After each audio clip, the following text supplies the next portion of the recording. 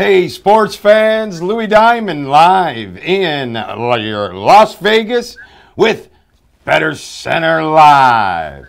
And we're coming to you with college football. Today, the first day of college football. Actually, the second weekend of college football, but we got a big slate of college football. Some games have started already and uh, just now, but uh, there's been some moves on the game, so let's get you some quick moves. Lots of steam on the Cal and North Carolina game has gone to the under. Went from 66, now down as low as 59. Uh, we have some steam on the under also with Miami and Marshall from 51 and a half down to 48. Big steam again on uh, 23. It was uh, Duke from 23 all the way up to 34 and a half. Big, big steam on Duke in this game. So this is what we're going to do for you here on BettorCenter Live. We're going to get you the steam, the lines as uh, they're steaming, and we're going to bring some BettorCenter handicappers here to talk about today's college football action. And there's plenty of it. And uh, let's, um, what we're going to do is we're going to go to our first BettorCenter handicapper and uh, bring him live. Get some uh, opinions from Tony Gulledge, the great white capper. And uh, Tony, you are our first uh, handicapper on BettorCenter Live. How are you today? I'm doing great. Nice to be with you, Luke. Great to have you here. So we got uh, big slate of college football going today. We got a lot of lines moving. We got a lot of uh, action out there. What do you see Missouri. today? First touchdown of the day to Missouri. Missouri, first touchdown on Saturday. You got anything going with that game? Uh, sure do not. of course not. But you know how many times it happens where uh, you come right out, get that first touchdown of the game, and then you never see nothing after that. So you got to be careful of just uh, getting too excited for uh, Missouri backers. Missouri. Well, you know, a lot of times these teams, they're all of a sudden they're down seven nothing, and they're going to sit down and say to themselves, "This is going to be a real long day if we don't, you know, get ourselves focused." And that brings, you know, more focus to the team that's down early in the game. So, but many times they get that first touchdown, and it's uh, lights out for the other team. So. Sure does. Goes both ways, doesn't it? Yeah, it sure does. But uh, it, I guess it all depends who you got and who they're playing. So, what else we got Oh, going man, on here today? And this is kind of a a look at- rivalry, so they're trying to make it a rivalry, but 36 and a half point Missouri favorite. Yeah. Yeah, it's not much of a rivalry, I don't think. Yeah, they I want it to be. State, it's just just getting up into Division One. Maybe call us back in ten years. Yeah, I, I still think that uh, 35 and a half might be a little bit too much in this game. That's definitely ambitious. Uh, uh, I was looking at a couple of these lines, thinking the lines were too high. I certainly don't want to jump on the other team either. So, I mean, I guess that's a good line. Where you know, if I'm looking at it, like, Well, I will say this: the um, conference mismatch games, like when you look at the bottom of the schedule, there's about 40 games at the bottom of the schedule. Uh, games, yeah. where where you just see total conference mismatch, big teams playing small teams. SMU, like New Mexico, New Mexico against Abilene Christian today, 34 point spread. Lay it. Lay it with a smile. Lay it with a smile. I'm serious. The- These guys, they don't face real opponents, and they get that one game a year so they can, you know, well, you know, the, the big team gets the easy win. The little team gets some money for their pocket. But uh, it's a paid ass whipping is all it is. You just get paid to show up, take your take your lumps, and go back home. But Yeah. you get paid. Yeah, there's no doubt. And we get to take advantage of it because even though they got these big lines, look at TCU, minus 64 and a half versus Jacksonville That's a- State. That's How do you- absurd, man. Isn't it? Now, that might be a little tough one to lay, but usually when these guys are 35 and 40 point favorites, I, I see them as easy winners. It's just total mismatch. I usually put like a fifty dollar max when it gets that high, unless I just absolutely have a great feeling about something. well, Yeah, that's just that's oh. sixty five is like I'm laughing at that. That's that's funny. I, they might cover that number. I'm not saying they won't. That's Right. just a lot. You're, you're spotting a lot of damn. That's like something off a cartoon, man, to cover that kind of spread. I know, but I tell you what, when we come back tomorrow, Any touchdown, good luck covering sixty five. no doubt, no doubt, you're you're you're going to pitch a three point game or a shutout, and that's about that's about your only option. Yeah, seventy two seven. Yeah, right. 72-7 and you get beat by the hook. Well, 72-6. Yeah, but uh, but I bet you if we look at these games tomorrow and we look at the Wait, spreads, you can circle a few. You can tell me a couple that you think are just those crazy. I mean, I like. Oh, I, I saw a couple earlier. Fresno State is laying 32 and a half to Incarnate Word. I think it's a small school. A small school in, in uh, Nebraska, I think. I want to say is where that's at. right. That's that's small. These teams are just they're still. Uh, I want to say the FBS for sure. What used to be one double A. This always confuses me when they change that. They used Right. to have it all down. They changed it. Yeah, that uh, got real confusing there. But look at UNLV lane A. 45 to the Howard Bills. Uh, you know, 45 for UNLV. That's crazy. That's a MEAC. That's a MEAC team. But- Uh, But I'm telling you, if you take 40 those, those 40 plays and you anybody that's 20 points, even 15 points or higher favorite, that's money. I bet you when we look at back we look back tomorrow, you're going to see yourself with a winning proposition if you bet every game evenly. That's my I think a lot of it's perception. Yeah, I might lay off the team with the with the big, you know, resume like the TCU. They're just too. They're gonna get pounded too hard. Maybe some of these lesser ones. Man, I'm still looking at these like I, I don't know how I could lay all these points and stuff. I mean, I can make them fun bets, but if it comes down to like laying my big bet of the day down, I just uh uh you, they're nice when you win, but when you lose one of those games, you get you got to feel like a big lollipop, man, like you got suckered hard. Nah, I don't. I'm I, I'm of the other side. I'm just know that if I play it evenly and I get enough of them, I'm gonna win because the big school eats the little school. It's just a fish game. so, so what are you looking at my today? Yeah, I've got a couple games that I definitely like. Uh, one a little more than the other. One of the games I do like, the Michigan and uh, Florida game later. Oh, yeah, that's uh, definitely something that's on everybody's plate today, because uh, you know Florida has all the suspended players, and Right. uh, you know Harbaugh's got plenty of time to prepare for something like this. And when you give Harbaugh the time, I got to give him the edge. What are you thinking? Uh, definitely the suspensions. I mean, of the all the suspensions, two were notable: wide receiver Antonio Callaway and the running back Jordan Scarlett. Both were uh, big producers in a low production offense. You know, under the coach McElwain. I really didn't realize they changed coaches from Muschamp the past year or whatever. They looked the same. Oh, they've had a new coach for two. You would have never known because the offense is still pretty anemic for Florida.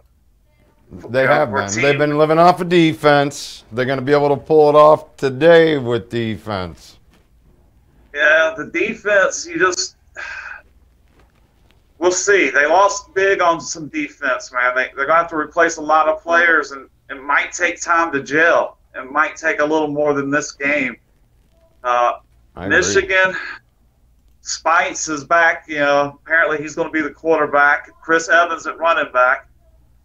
definitely have a few holes to fill on the defensive side of the football, but you got Harbaugh, the system in place that seems to be working. A lot of times with these coaches, once they get their style in place, it's just a matter of putting the right people at the right place. You know, don't have to be the best athlete at every position. It's just got to be somebody willing to do their job.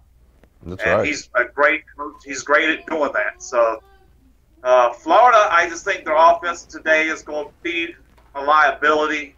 I think I put a score down here. I'm going to play. I'm playing Michigan, and I got a score of 27-17. Is the way I, I see this game coming out. Michigan is going to get the best of 27 them. 17. So you're saying a little bit of an underedge, too. Is that what you know? I some people focus their handicapping on on spreads, you know, money lines and over. I don't really ever never been an over under kind of guy.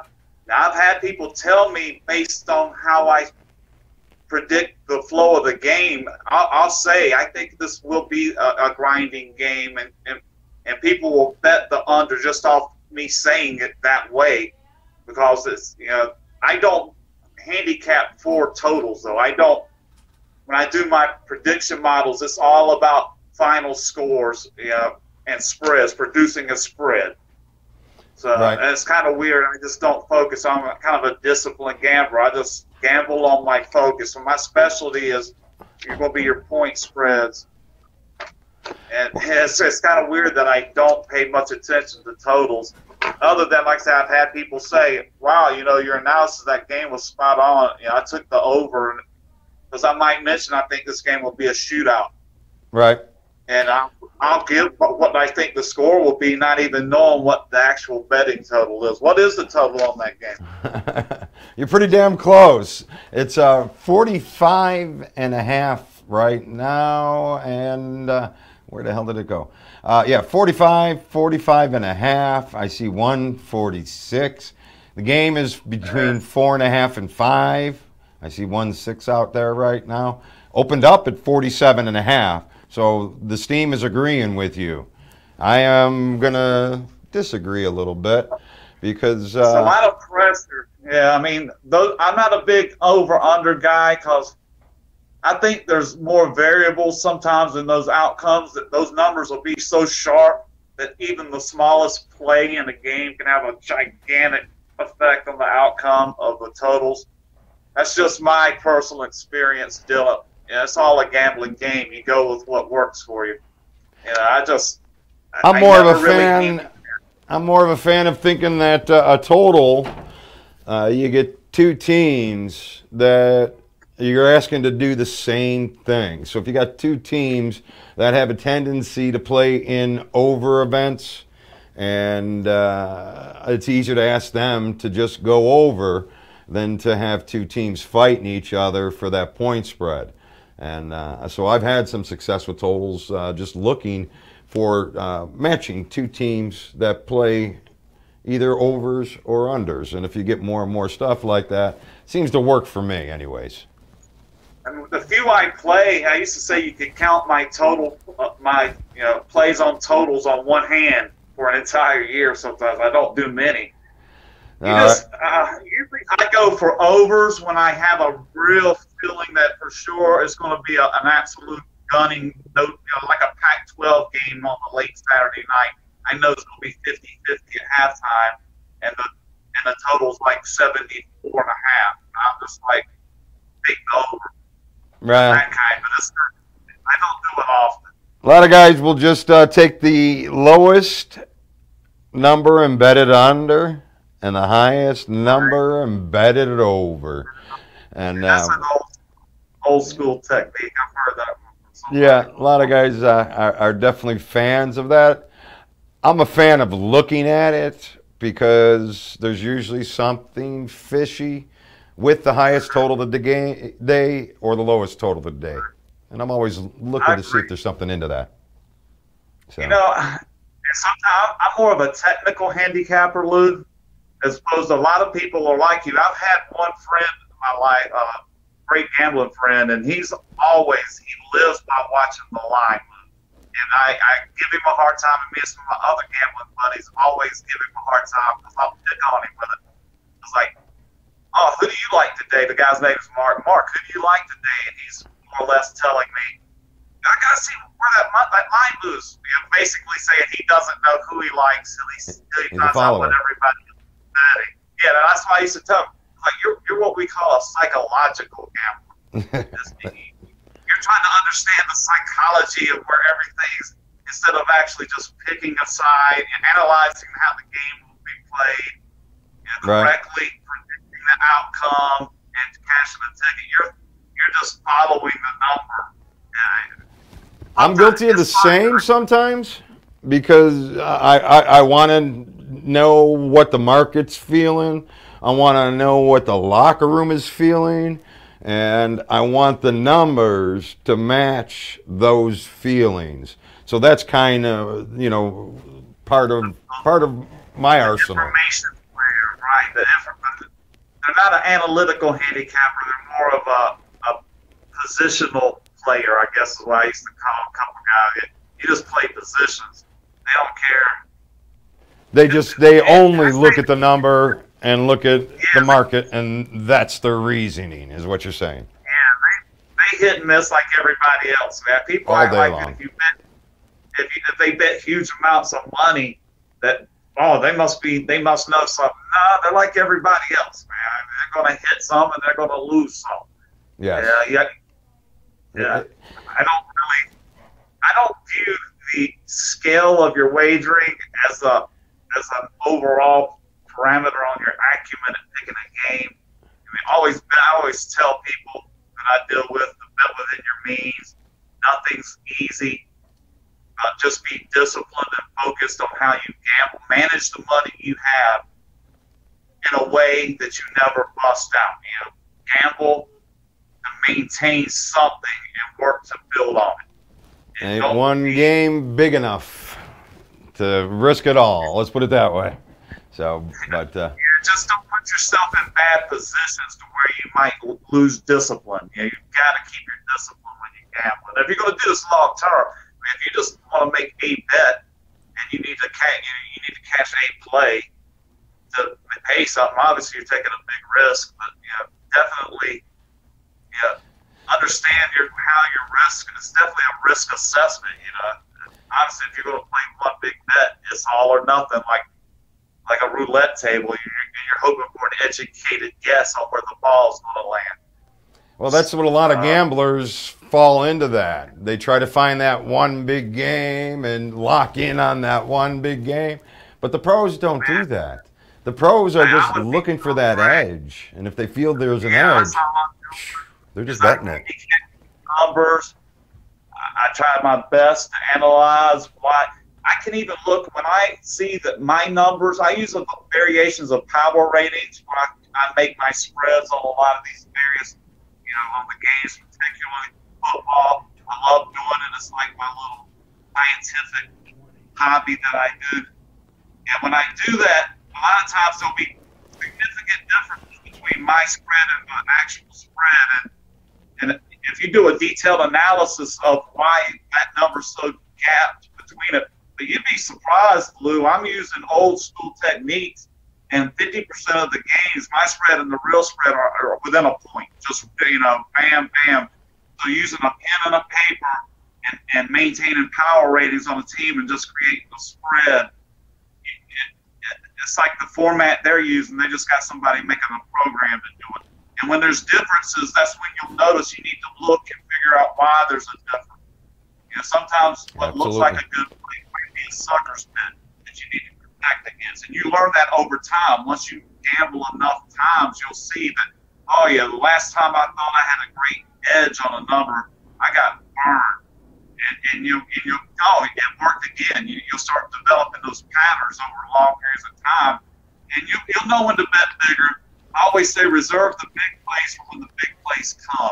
Don't go looking for the big play. Don't, you know, don't force it if you're if the play is making itself big, then you're putting yourself in a bad position. When you're making the play big about how you feel and the confidence in the handicap, then you're in control of the game. And I, I, everybody I deal with, I try to get them to that point, that mentality of things. That's going to keep you going long term. If you want to gamble long term, you have to be patient and use smart gambling. You have to be smart with your bets. Man. I agree. Without that, without doing those things and learning how to do it without emotion, without you know, you just put, make it almost like a business decision. Right. So let's talk about a business decision here for you today. Obviously, you have an opinion on the Michigan game, and uh, and you have another play for us. So, uh, what what do you what are you telling everybody to do here at the Michigan game today? Uh, playing Michigan is, and that's uh, probably my second highest rated play of the day. So my straight bets. Number two. My second biggest one. I, I really like Michigan play. Play Michigan. I, am agreeing with you on the Michigan here. What else you got for got, us today? All right. Well, I got a big play for everybody on the Coastal Carolina. You need to get your head straight before we get into this. I'm cool with that. Uh, yeah. Okay. I might need to. I'm gathering my paperwork for here so I can give you a good, good feel. I, I can give you a little background information. Coastal Carolina is making their first appearance in the FBS. They had previously been in the FCS. Uh, the coach they've had has been there five years, and it's like a local school near Myrtle Beach, South Carolina. Party and they time. take a lot of pride in built up this program. The guy they got as a coach is, a, is a is a character, man. His name is uh, Moglia. And, nice Irish uh, boy. I got, I got his card right here. And I was just looking at man his life. Yeah, he basically uh, he's been the uh, what was it, CEO and chairman of the board of uh, what company? Joe Moglia. So I mean, this guy's like he, he worked as a uh, after he was CEO of Ameritrade, he worked as an unpaid assistant at, at Nebraska for a couple years, and then went to Coastal Carolina to take over their football program and be head coach. I did not so know this. Interesting stuff.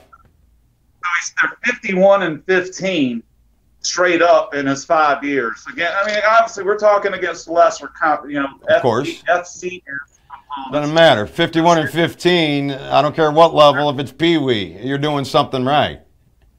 Right, and he and he does it with it's a lot of system where he he he's this guy's to me is almost like a guru, man. It's, it's he's kind of impressive, an impressive guy. He's a great locker room guy, I'm sure.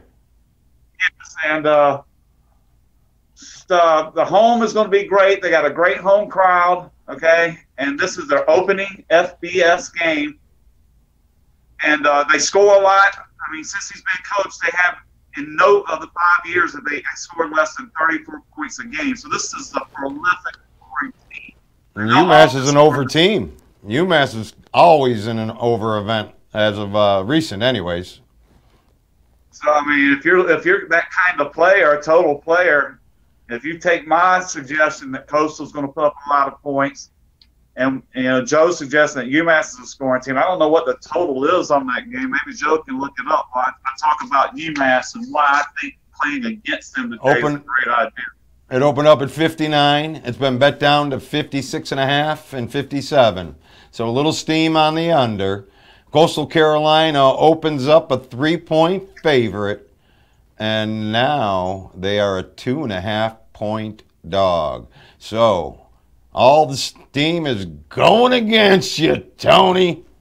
So, but that's all. Sometimes that's a good thing. I've been on that side of the boat, man, and sometimes you don't, Matt, you don't care, man, and that's that's good. Sure. I'm not a psychological player. I'm the kind of guy that's going to pick my position early, usually stake my a little bit of claim on it, and then just I'm going to go with what I think. And, you know, sometimes you're against the, the world, and sometimes you're not. But I, uh, this is one of these plays.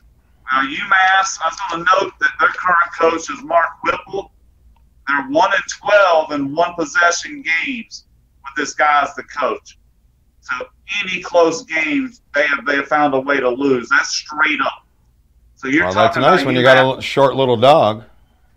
Very nice. Yeah. So you're looking at a UMass team that doesn't finish games well. Even this, their opener against Hawaii, they allowed Hawaii to get the late drive for the quick score. You know, lost at home in a game they should have won. Um, they, right. They've given up over 33 points a game of each or higher each of the last four years. So they're a defensive liability since they've been in F- FBS. All right, so it's uh the Coastal Carolina is going to be a buzzsaw tonight. I see I see UMass walking into a hornet's nest, and I see Coastal Carolina taking a 10 point win. 38 28 is the score I got. there you go. All right, Tony, the Great White Capper, coming in at you with Coastal Carolina plus two and a half. Nice home dog in their first FBS matchup. And also coming with Michigan minus four and a half over the Florida Gators. Tony, loved having you here today. Thank you for joining us on the inaugural college football BettorCenter Live. Someday I'll figure out how to wrap this shit up. So, but uh, thanks for joining us, Tony. We're gonna uh, we're gonna get you again here. appreciate it. It was fun. Good Maybe luck. be here again tomorrow. Talk about all them big favorites that are gonna come in today, and talk a little bit more college football with you. Sounds great, Lou. Y'all guys have a great day. Good luck with all your action, man. Cash some tickets out there. All right. Same to you, Tony. We'll talk to you again real soon. All right, sports fans. That it's Tony Gulledge. You'll be able to follow him as the Great White Capper on BettorCenter. If you haven't been out there yet, bettorcenter.com. That's where we got about 55 handicappers out right there, out there, posting out their plays every day, laying it all on the line, not afraid to come here, talk to you about what they're doing before the games go off, give you a little idea of their insights before you make a commitment to any of the BettorCenter handicappers.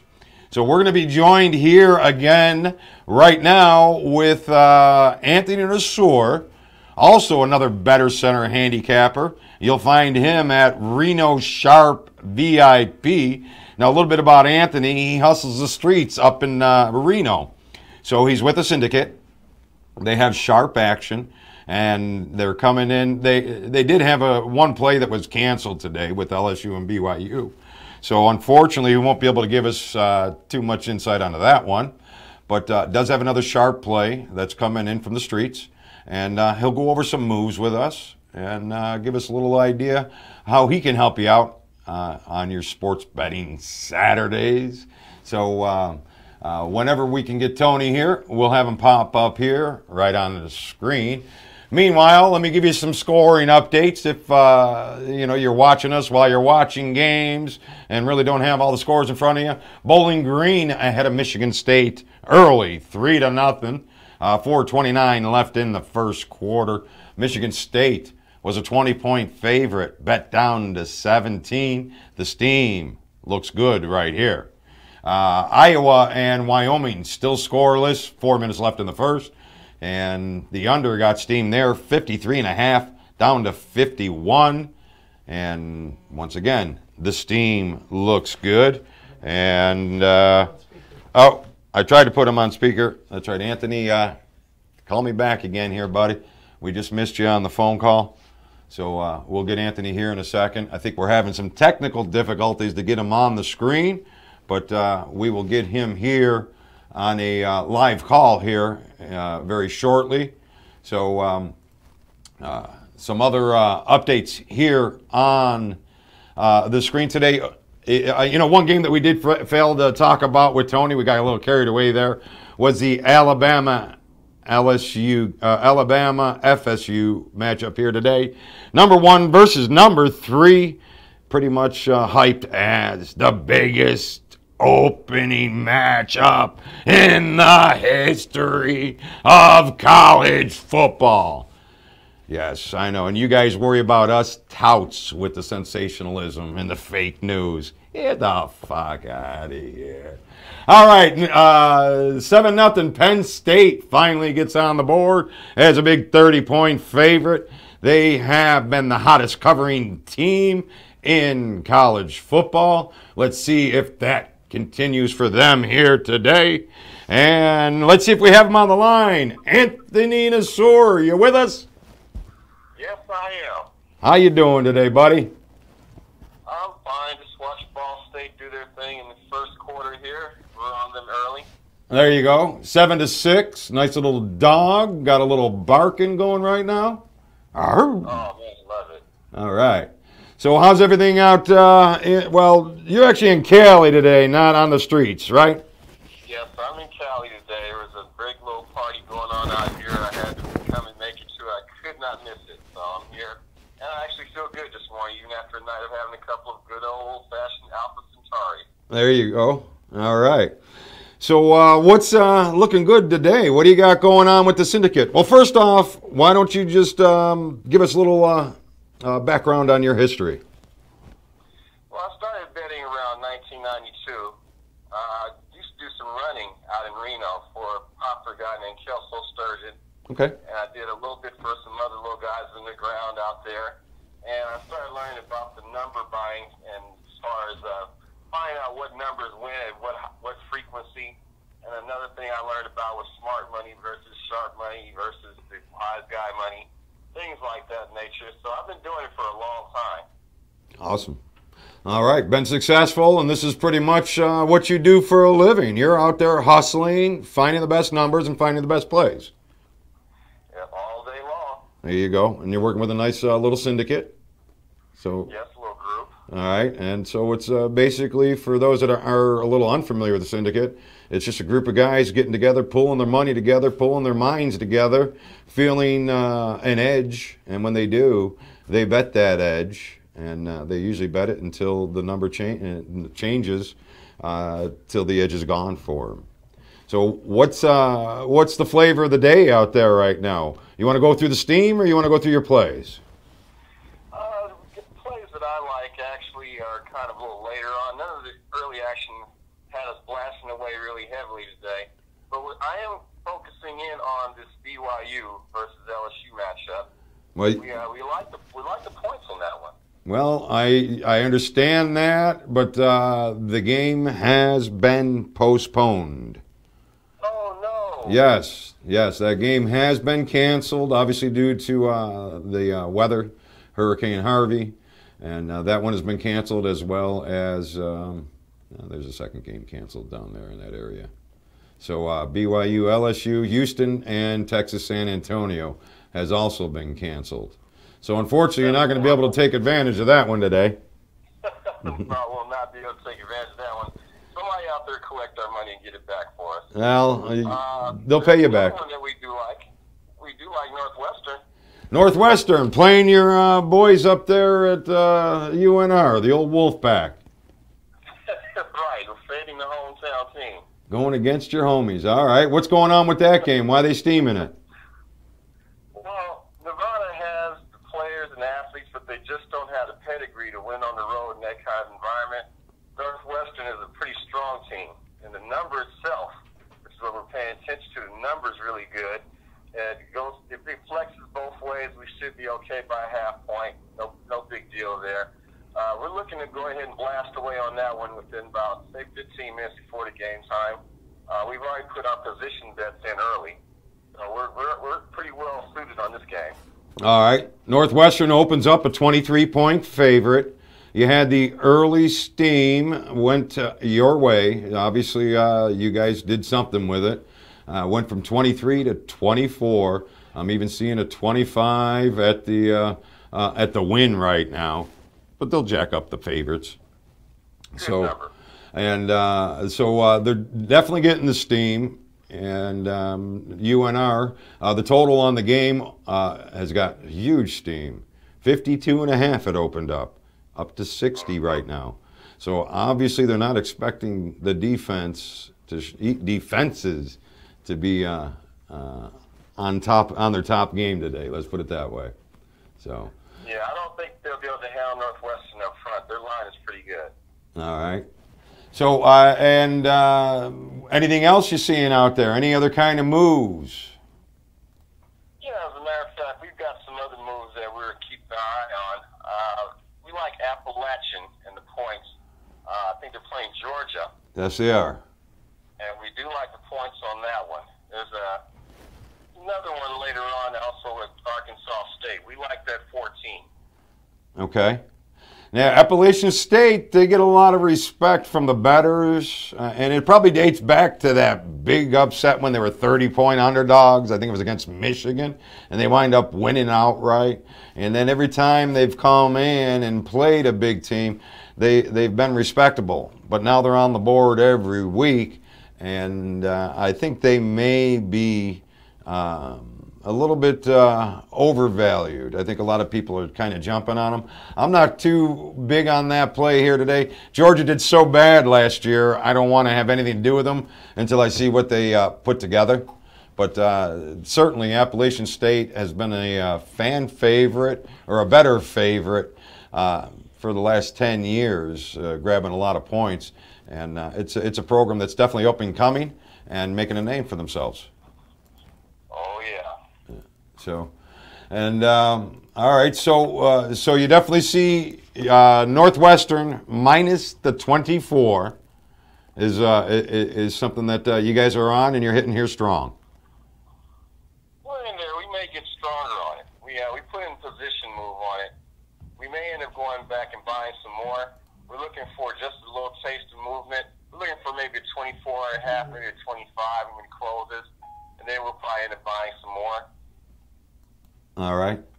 Okay. And um, why don't you let everybody know how they can get a hold of you, Anthony, how they can get the details and get the games before they move?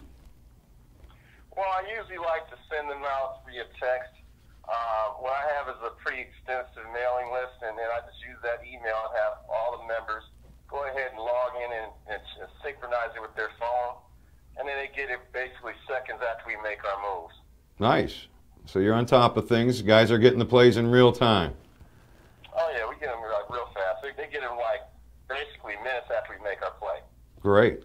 So if you want to find out more about Anthony Nassor, Reno Sharp VIP, remember he's up in Reno and they're moving you know, they're moving serious action. They're making the lines move up in Reno. And I know you say, oh, they're making lines move in Reno. But guess what? Making lines move is making lines move. And at the end of the day, when you're controlling a little bit of the market, you got something. So if you want to get a little piece of Anthony's action, look for him on lvspn.com or bettorcenter.com, where uh, Anthony's putting his plays in there every day. And uh, you get them uh, in advance if you just go out to his website, which I believe is renosharpvip.com. Is that right? Oh, it's localrenosharp.com. Local. Local Reno Sharp, localrenosharpreport.com. Local Reno Sharp Report.com. But you'll also find him on lvspn.com and bettorcenter.com. And so uh, follow him. He's on, uh, he's on the pulse of the business. And if you want to be on the pulse too, follow Anthony, follow LVSPN. All right, Anthony, anything you want to part us with? Any final uh, shots that we can hear around the world here? Yes. My, my thing for everybody out there is always try to make sure you bet plus EV moves. Find a move where the cash outweighs, the cash percentage outweighs the percentage of bets made. Simple as that. And that. it, it's great advice. And in my opinion, that's what I was showing everybody there today when I was showing the uh, uh, when I was showing you the conference mismatches on the added and extra board games. So if you look at the bottom of the schedule, you'll see all those conference mismatches. You'll see all the big favorites 25, 30. You, you see those big favorites?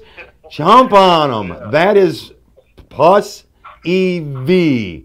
Positive EV. If you bet it every time, all season long, you're going to be ahead. You got the big fish eating the small fish. But you got to know what the real big fish are. And they're down there on the extra boards and the added boards. So look for it there, guys. Okay, this is Louie Diamond uh, for Anthony Nassor. Thank you very much. Appreciate you joining us. Looking forward to have you here again uh, often so we can uh, get those updates and the line moves and uh, where the steam's going. So uh, stay tuned to LVSPN. We'll be coming to you. We're going to try to get to you an hour before the first game every day, get you the steam reports, and get you some picks.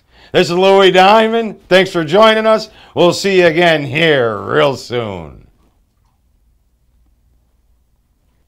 All right, Anthony.